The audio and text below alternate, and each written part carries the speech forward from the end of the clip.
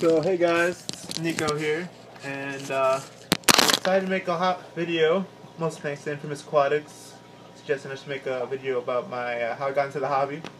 Just got a shout out to you, hey, like the channel, and those little shellers you have, they're so cute. Also that frontosa, I'm pretty sure it's frontosa, not, just correct me in the comments. Because there's a few similar species I think that aren't actual frontosa, but they are, they look like them. But um, anyway, so let me talk about how I got in the hobby. Um, when I first, I first knew my parents, well, when it was coming around Christmas, it was like five years ago, uh, my parents knew I wanted to get a fish tank. Originally I had wanted to get an Oscar, like, I just, I just wanted to get an Oscar. My parents ended up getting like a 30 gallon tank, so that went out the window, and uh, what I wanted to do, ended up get, doing was I wanted to have an Angel Dwarf Cichlid tank, and, uh, you know, I get the little pistos and some rams, and uh, that was my plan. But when I tested my water, it turned out that it was high in pH and had a high mineral content. So I didn't want to constantly be changing the water every time I was doing a water change in the tank. And I was like, ugh, okay. Um, which I didn't know what I wanted to do. I got discouraged. And then uh, my dad ended up recommending, because he always wanted to keep uh, African cichlids.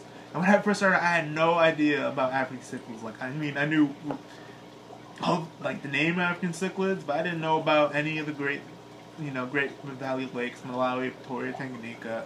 And no, like going to the hobby, looking at an electric yellow was like foreign to me. Like, what the hell is that fish? Now you look at it, it's like, ha, electric yellow, one of the, you know, more common, one of the most common fish in the, you know, cichlid keeping hobby. And uh, so I did my research, you know, I got, know I was just uh, into the hobby.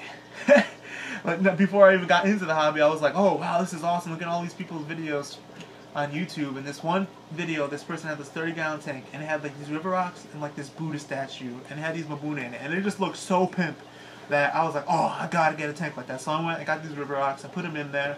I went to PetSmart before I knew about, you know, don't get PetSmart Petco because their fish is trash. But at that time, their fish were pretty good quality. The one by my house. So, um, I got a couple electric yellows and two bumblebees, and then I wanted, you know, I was joking with my uh, Maingano video. I wanted to get a bluefish. So I ended up getting that Maingano from an actual local pet store, and uh, I just was addicted, man. The interactions with these fish, how smart they are. They're nitpicking, you know. This one lives in this house. This one's buddies with that one. That one's an evil little sadistic fish, that Maingano. Um, a lot of stories with that guy, but I just got addicted, and you know, you know you're addicted. I'm sure most of you guys know. You when you're on YouTube, you're, you're like watching on YouTube for like two, three hours, just looking at people, different people's fish tanks and getting ideas and how you're gonna change your tank or how you're gonna improve your tank or how you want to get a new tank and what you're gonna do with that tank. And that was me. Like I, I decided I wanted to upgrade to the 55 gallon. This double stand I have. If you watch my uh, video, I got the 55 gallon up top. Looking at the 30 gallon now. And I just wanted to get that 30 gallon. I ended up, I mean 55 gallon. I ended up making a custom stand. I went to the drawing board and sketched out and made measurements and how I was gonna do this and the wood I was gonna get and the paint. And uh, I ended up getting making this custom stand to put in my room. And you know, before I knew it, I was getting all these different cichlids and I was just addicted. Unfortunately, I ended up uh, getting out of the hobby for a little bit because of just school and college, and I just know, I got bored. You know, I got lazy, and I wasn't really keeping my fish. So these are my last two two remaining fish I had from my original batch I had. And then obviously up here is my new guys. Me starting out new. The reason I made this channel was, uh, you know, I'm starting out fresh and new with these guys, my 55. I still have these old guys. I love them. One of my favorite fish. Great stories with them. Let me readjust this now. My tripod. Sorry for the shaky camera. But uh, yeah, man, I just got into this hobby, and it's one of those things, man. Once you go, once you start, you never go back, man.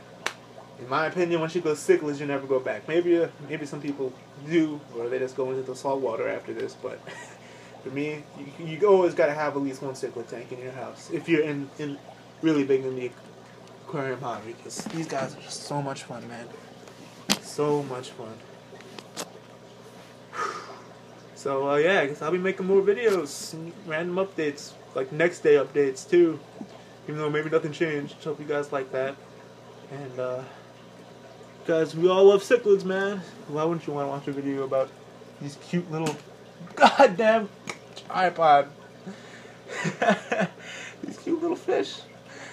Little Charles Manson, that serial killer, took all his little buddies.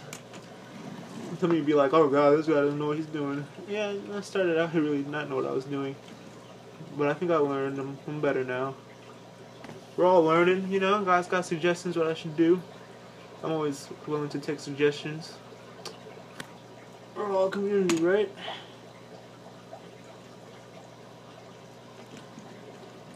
So there's my cichlid. That's a little bit how I got into the hobby. More like how I got addicted.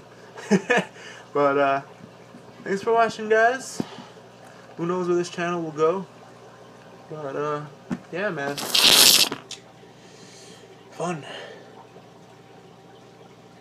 I just look. I'm just like being quiet because I'm just looking at him right now. I'm more like looking at him through the camera, just amazed, like, oh, the amazing eye. All right. Bye, guys.